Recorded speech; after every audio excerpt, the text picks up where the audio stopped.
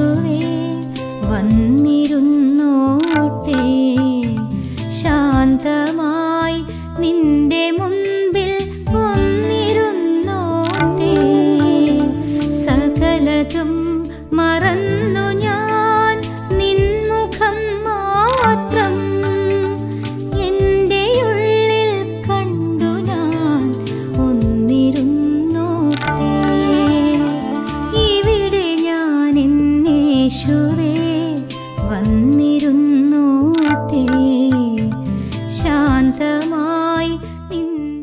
മിഷിഹായിൽ അനുഗ്രഹീതരായവരെ ഈശോ നിങ്ങളെല്ലാവരെയും ഈ ദിവസം അനുഗ്രഹിക്കട്ടെ.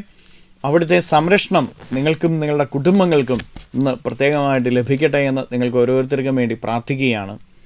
വിശുദ്ധ മത്തായിയുടെ സുവിശേഷം അഞ്ചാം അധ്യായം നാൽപ്പത്തി നാലാം തിരുവചനത്തിൽ നമ്മൾ വായിക്കുകയാണ്.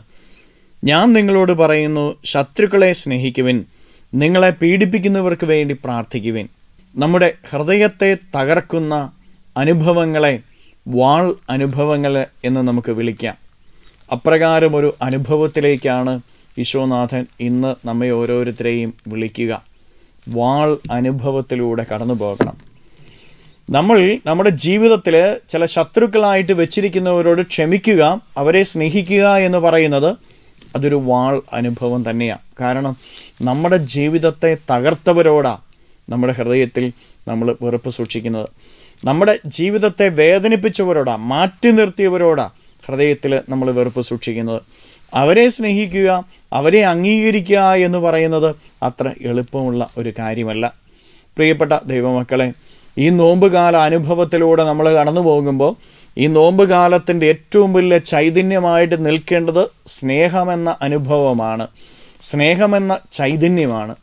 ആരോടെങ്കിലുമൊക്കെ നിന്റെ മനസ്സിൽ വെറുപ്പുണ്ട് എങ്കിൽ അവരോട് ക്ഷമിക്കുവാനായിട്ട് സാധിക്കണം. അപ്പോൾ മാത്രമേ ദൈവത്തിന്റെ കൃപ നമ്മിലേക്ക് ഒഴുകുകയുള്ളൂ.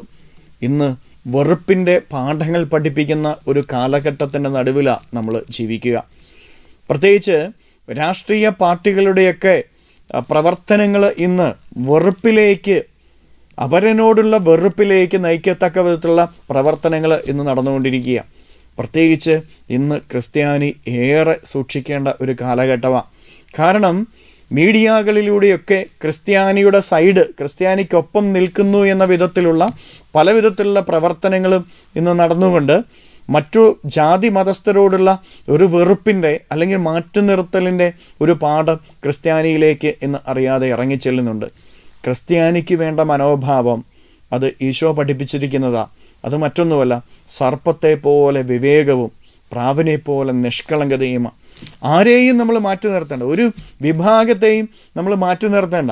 ആരുടെയൊക്കെ അരികിൽ നമ്മൾ നിൽക്കുന്നുവോ ആരോടൊക്കെ നമ്മുടെ ഇട ഇടപഴകുന്നുവോ അവരോട് നമുക്കുണ്ടായിരിക്കേണ്ട മനോഭാവം സർപ്പത്തെ പോലെയുള്ള വിവേകവും പ്രാവിനെ പോലെയുള്ള നിഷ്കളങ്കതയുമാണ് അങ്ങനെയെങ്കിൽ ഈ മനോഭാവം നമുക്കുണ്ടെങ്കിൽ നമ്മളെ മാറ്റി നിർത്താൻ ആർക്കും സാധിക്കുകയില്ല.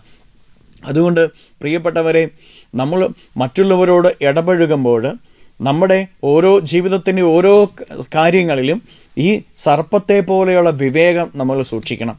പ്രത്യേകിച്ച് നമ്മുടെ കുടുംബങ്ങളിലുള്ള മക്കളെ നമ്മളത് പഠിപ്പിക്കണം. വെറുപ്പിന്റെ പാഠങ്ങളല്ല മാറ്റി നിർത്തലിന്റെ പാഠങ്ങളല്ല നമ്മൾ പഠിക്കേണ്ടതും പഠിപ്പിക്കേണ്ടതും അനുവർത്തിക്കേണ്ടതും. സർപ്പത്തിന്റെ വിവേകം നമ്മുടെ ജീവിതത്തിൽ നമ്മൾ സൂക്ഷിക്കുക എന്നുള്ള നമ്മളൊരു വ്യക്തിയുമായിട്ട് ഇടപഴകുമ്പോൾ ഒരു വിഭാഗവുമായിട്ട് ഇടപഴകുമ്പോൾ അത് തിന്മയിലേക്ക് നയിക്കത്തക്ക വിധത്തിലുള്ള പ്രവർത്തനങ്ങൾ ഉണ്ടാകുന്നുണ്ടെങ്കിൽ നമ്മൾ അവിടുന്ന് മാറി നിൽക്കണം. അതിൽ നിന്ന് അകന്നു നിൽക്കുവാനായിട്ട് നമുക്ക് സാധിക്കണം.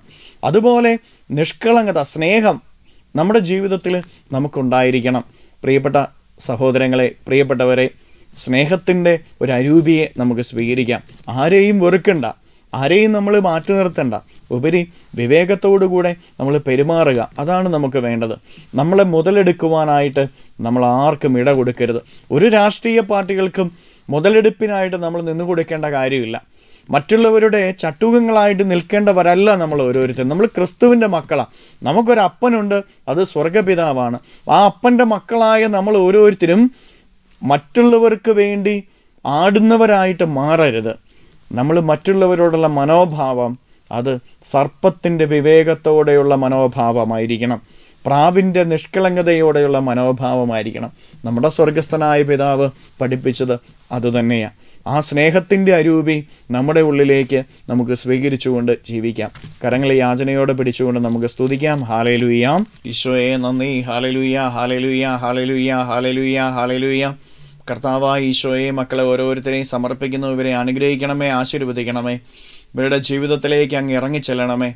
കർത്താവെ അങ്ങയുടെ സംരക്ഷണം ഇവർക്ക് നൽകണമേ അങ്ങയുടെ പരിപാലനം ഇവർക്ക് നൽകണമേ.